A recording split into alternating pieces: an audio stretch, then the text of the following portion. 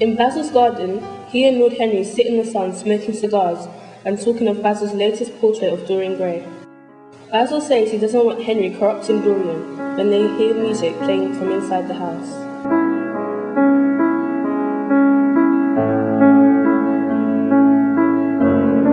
Dorian is sitting behind the piano and finishes asking to see the finished portrait the two spoke so highly of.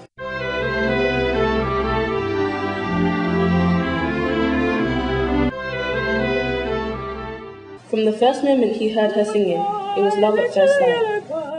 I gladly mate with you. I love you, little yellow bird, but I love my freedom too. So goodbye, little yellow bird. I'd rather brave the cold on a leafless tree than a prisoner be in a cage. But Lord Henry persuaded Dorian that he didn't need to marry her. She waited and waited, but Dorian never arrived.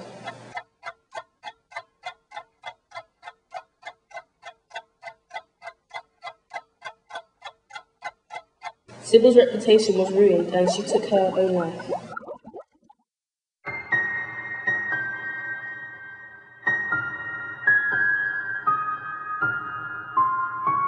Dorian was the gossip of all London. Everyone was talking about his scandalous ways, but it all went quiet as Dorian walked into the club.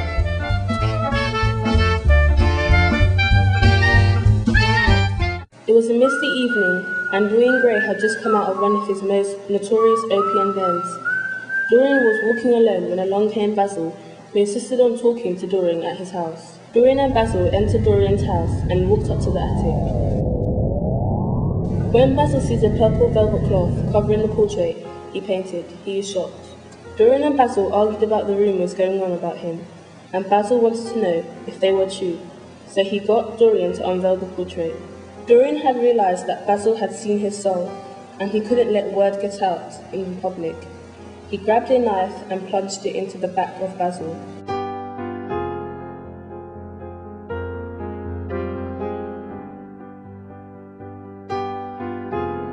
Dorian needed some help from an old friend, a scientist which he could blackmail. Dorian wrote a letter to the scientist to help him get rid of Basil's body.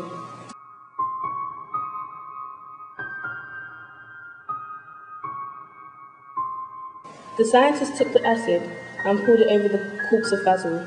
He watched his body burn to pieces and blew him away. The scientist couldn't live with himself. He had done such an evil deed. He hanged himself in guilt.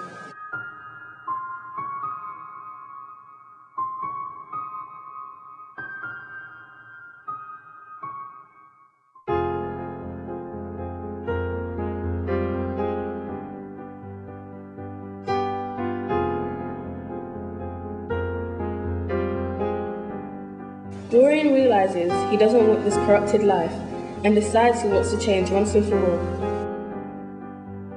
Taking a knife, he stabs at the painting. Before his dying eyes, the painting walked back into normal, leaving the most horrific corpse lying on the floor.